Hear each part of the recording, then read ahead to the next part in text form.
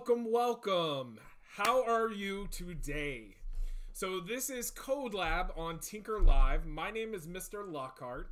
I am the educator support coach at Tynker, which basically that means that I'm the person that helps teachers. That's kind of my goal here because I'm a former teacher and tech coach myself.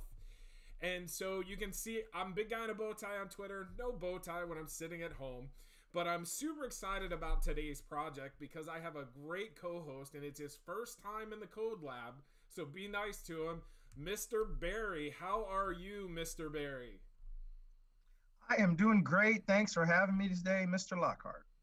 That is wonderful to see that you're doing really well. I'm glad you could join us and be with us today. And the project that we are doing today is Space Cowboy. We're going to sculpt that Space Cowboy. Can you tell me why you picked this project there, Mr. Barry? Well, as you can see, I got my cowboy hat on, and I live in Houston, Texas. There's a lot of cowboys here.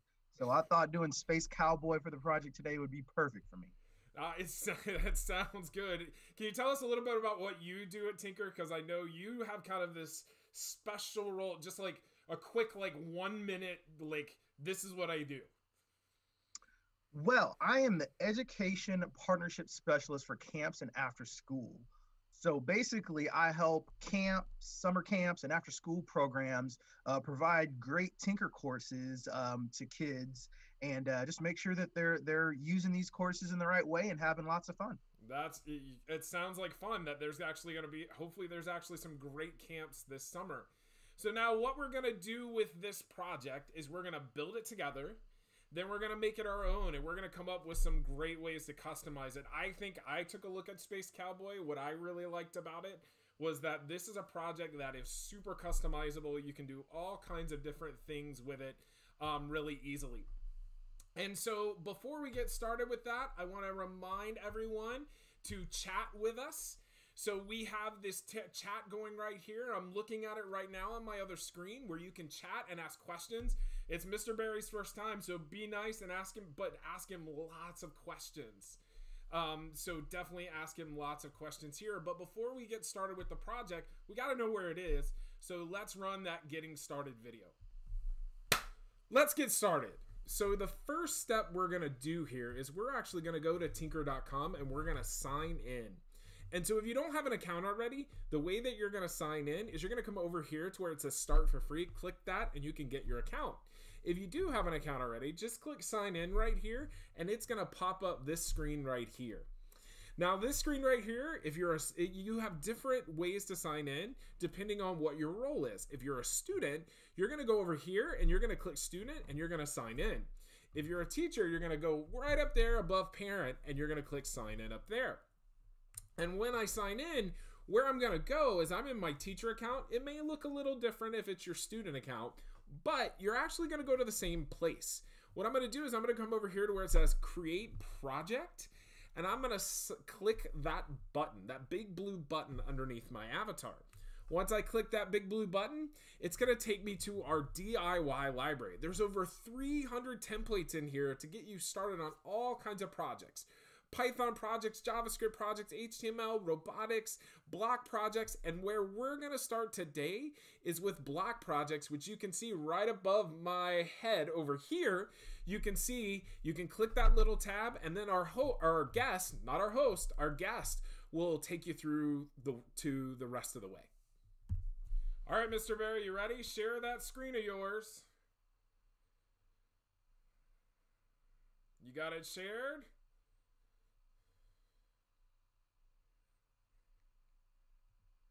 All right, let me flip let me flip over to you. It looks perfect. Let's go and share let's go and let you start this project and show us what you got today. All right, thank you, sir. All right, howdy partners. So um, as you can see, I am logged in right now to a Tynker student account. Uh, so I'm doing this from a Tynker student perspective. Um, and um, in order to get this particular project, I'm gonna wanna go down to my projects, of course uh, I'm going to create a new project. And this is actually a beginner project because I am a beginner coder. So, so that's why I'm doing a beginner project. And of course, we'll go down to Space Cowboy here. There's Mr. Cody on our loading screen.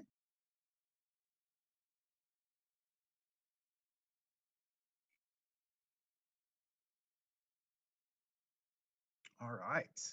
I'm going to take you guys through the tutorial here. So Space Cowboy, it's going to show us how to make the cowboy kick a zombie in space. So a lot of things going on here. Um, animation, timing, sound, rotation. Let's get started. Uh, so first we need to make the cowboy kick. So what I need to do is I can drag this block, this animate kick block, directly from this column on the left over to here and gives me an example of what it should look like there. So that looks looks correct. So I'm gonna go ahead and move on. Next, I gotta animate making the zombie fall over after he gets kicked, of course. So I'm gonna drag this block over here. And it says the code should look like that. That looks like that matches up. So I'm gonna move on. Zombie falls too fast. Okay, so now I got to attach these blocks before the animate fall. Okay, so by the way, if I click play, as you can see, he he falls really fast. It doesn't really match up with the kick there. So I have to add a little more time in between there. So I'm gonna go ahead and add this before the fall block and make sure that the code looks correct. That looks like it matches up. Okay. And then we can try it again and see what it looks like. Okay, so that that that uh there's a little more of a delay there, so that looks like it works. So we're gonna move on. Okay, attach this block below the animate kick. Okay, so it's gonna play a sound. Now you probably won't be able to hear the sound, but just know that there is a sound that's being played. All right, and it says it should look like that. So try that again. Oh, there's the sound. Okay. All right, moving on. Bonus. So the zombie doesn't fall right away. Drag these blocks into the zombie's code. So again, let's let's see what happens. He doesn't fall right away. So now, let's see. We're gonna make we're gonna we're gonna orient him so that he falls the right direction because he's falling backwards right now, right? So that looks like it is correct. So let's try again and see what happens. Oh, he's falling the right way now. So we fixed that problem. You're good at making that zombie fall. All right. And so and so that's essentially, you know, the the ending of the tutorial, but um, I'm going to show you a few other things that you can do in here to to kind of tweak things around. So first thing I want to show you is a stage. So you, as you can see, uh, we're in a space stage because um, this is a space cowboy, of course. Um, but uh, if I wanted to change that stage and I wanted to make it say, oh, I don't know, maybe the OK Corral here, you know, I can do that. I'm going to go ahead and save that make this our adventure stage. And I'll go back. Let's see, did it save that? Oh, no, I didn't say that. Okay, actually, there's an easier way. I can go over here to stage, I believe, and is there something that I'm not seeing?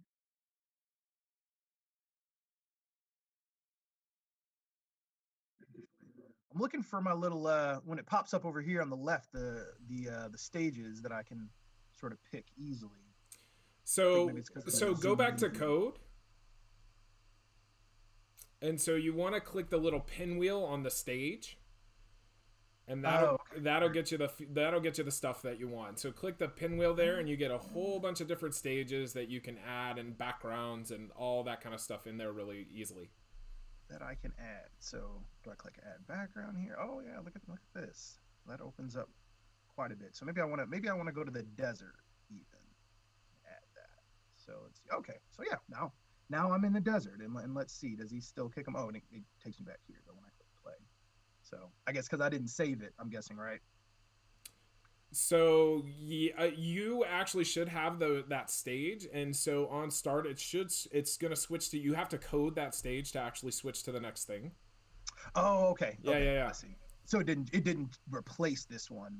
Okay, no, it doesn't replace it. So like so for instance, if I put in like that when up arrow pressed um, block, and mm-hmm. then I put like next background underneath it. Every time I press that that up arrow, that net it'll switch to the next background. You have to code that background to um, add some stuff in there. That makes sense. Okay, so this adventure theme background. If I if I were to change it here on start, it would keep it on a different a different theme background. Okay. Yeah, so- but that's but re- but that's a that's a sound block right there. So that's gonna change the sound in there. Oh, okay. Okay. Yeah, yeah, yeah. So, but if you s- Yeah. do switch to background, if you go on start and you switch to background and you click where it says alien landscape, Uh, uh, you can actually change it there. So you could change it to the OK Corral there. So if you press, if you press, um, if you press uh, the stop button and then the play button, it should change to the OK Corral there. There, There you go. There you go. Got it. Like I said, I'm, I'm a beginner coder. I'm still learning myself. You're good, man. No worries. No worries. No worries. Everybody's got to start somewhere, and it, no worries. All right. So oh. So- you are you ready to to switch over, and I can show a couple of different things? Yeah, yeah, yeah, absolutely. Yeah, All I think, so- I'm, I think I'm embarrassed myself. no, enough you here. are totally fine. Don't worry. At least you're learning something here. So can Here you go. can you go and unshare your screen real quick? Abs- absolutely. Uh, do that, and then we'll flip over to here, and not my email. That's bad. So we're gonna flip over to here. A little more time here. Oh, I yeah. So we're gonna flip Alright. over to here, and we're gonna come to um, this screen. So I did the project along with um, Kevin, and so what you'll see here is a screen where you have lots of different. This what's great about this project is you can customize this quite a few different ways. And so like Kevin said, you can go and customize that stage and I think what I what I can wanted to do is I wanted to customize it with my own picture. So not just the OK Corral from our backgrounds, but where you can click the little pinwheel and you can add another a different background. I can go and add background. And not only can you go in and add backgrounds that are already pre-made, but I can actually upload my own pictures as well. So what if I wanted to go and switch this to a background? All I have to do is click upload asset. And what you can do here is that I actually have saved a, a something already. I've saved a Western town picture that um, it's interesting that you're not seeing my file folder there, but I've saved a Western town picture. I'm to click that Western town picture. I'm to click open and I'm to add that as a background into my project. And so you can see that not only we're not we're at the OK Corral, but we're actually in a Western town here as well. So you can upload those own pictures in there really well. The other thing that I think that's really cool about this project is there's all kinds of ways that you can customize this. So number one, you can go and you can switch those backgrounds. So I could go and say, all right, instead of an on start block, switch to background. I'm actually going to come over here and I'm going to use a different event block. And I'm going to use when up arrow pressed. And so I can customize how I actually change to those backgrounds. So I can customize where I go, as soon as I hit start, I'm going to hit when up arrow.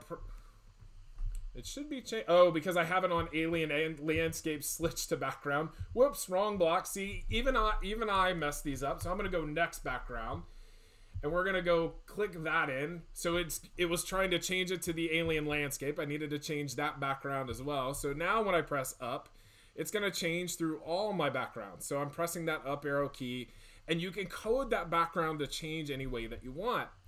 I think another thing that's really easy to customize in this project is when you look at kind of the animations and you look at what these these these th- these uh, characters are doing. There's a lot here to customize. So I can click animate and I can actually make this do all kinds of different stuff.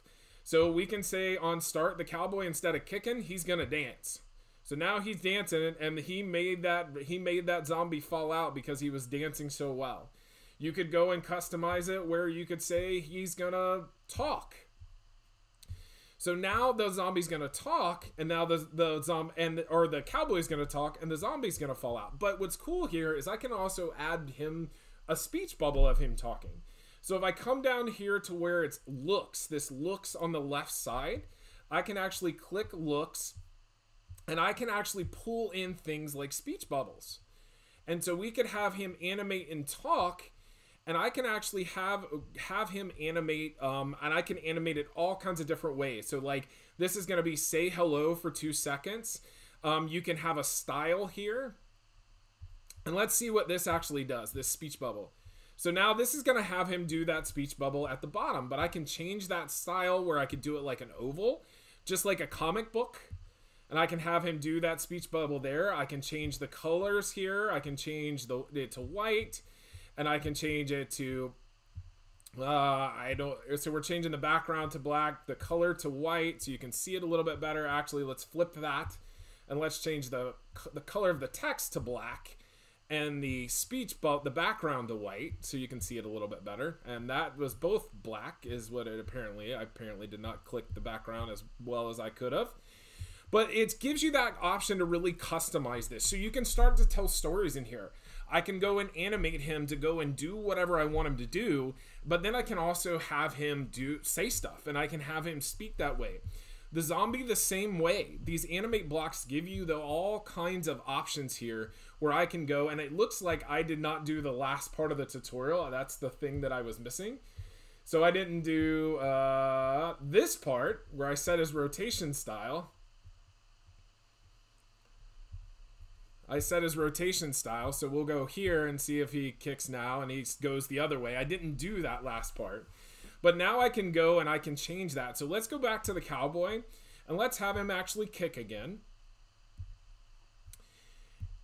And so we'll come back over to the zombie and instead of him kicking, we'll go and we'll make the zombie, we'll make him dance.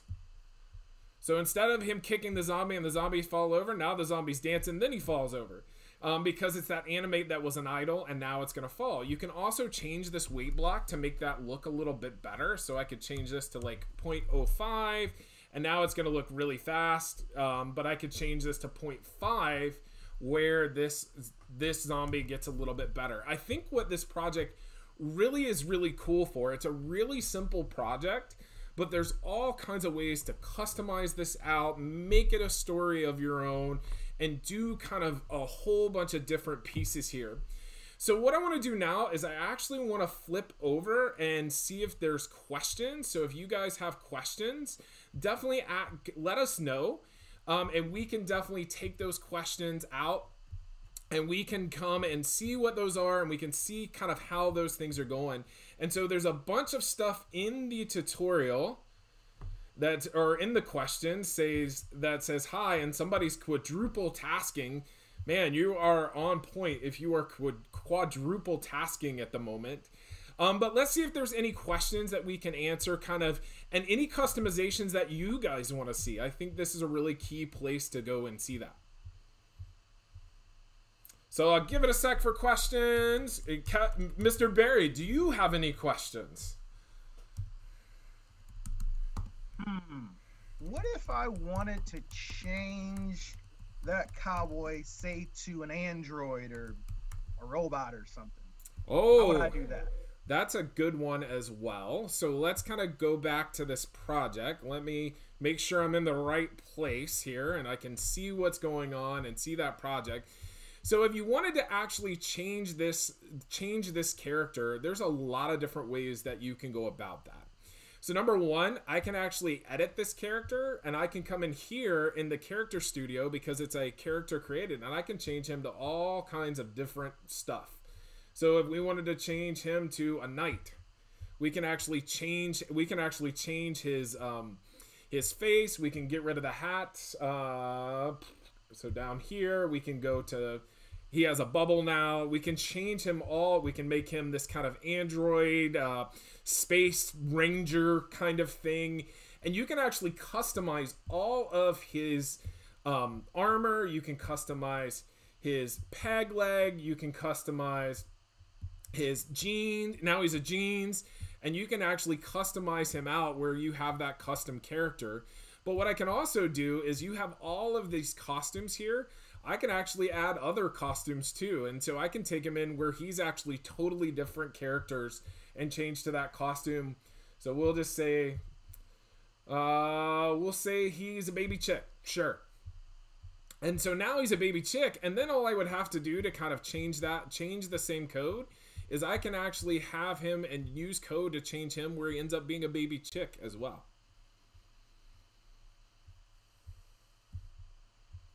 Any other questions? Mr. Barry, questions from you? Awesome. Now you're gonna have to help me with this because I told you I would forget. What is the title of tomorrow's show? It is Code Lab, and I'm the one actually doing it, so I should know the title of this show. Uh, let and me I, I- let me I go. Here. let me go here. Um, I know it's somewhere in here. Let me find it because I know that I'm the one actually doing. I know what we're doing. I just forget the title that we given it. So the title is actually constructing historical heroes. So really, tomorrow's show, what I want this to be, what this is a custom project that I came up with, and the idea here was that I wanted to go in when I joined Tynker and do a project that I used to do in my classes. And so this project that I used to do in my classes is I used to have kids go in and do a commercial for a um, historical figure. So like a historical commercial. So like Thomas Edison selling the light bulb. And what I found is I'd have kids do videos, but I always had that one or two kids who hated being on video. And actually, this date is wrong. I just realized that it's tomorrow is Friday. Sorry, it's wrong in here. But it is so this is this is tomorrow, not today. So it's Friday on the show. Um, is the next show. But I always wanted kids to have that kind of historical kind of, and I always had those one or two kids that would really struggle with putting themselves on video. And so this is a way that you can, for free, in a teacher account, in a student account, you can build that historical commercial and do that animation um, directly in a project and code at the same time. So that's kind of why it's one I'm kind of passionate about. We'll see how it goes. Um, I think today's show was better than the last one I did, although there's a couple of mistakes in there. I'm still trying to kind of get everything in the right place. But let's say thank you. And we'll wave and say thank you to everybody. Wave, Mr. Barry. Wave. Do you have anything else to kind of tell the tell the world? No, go go out and create. Go out and create. I think that's a great piece.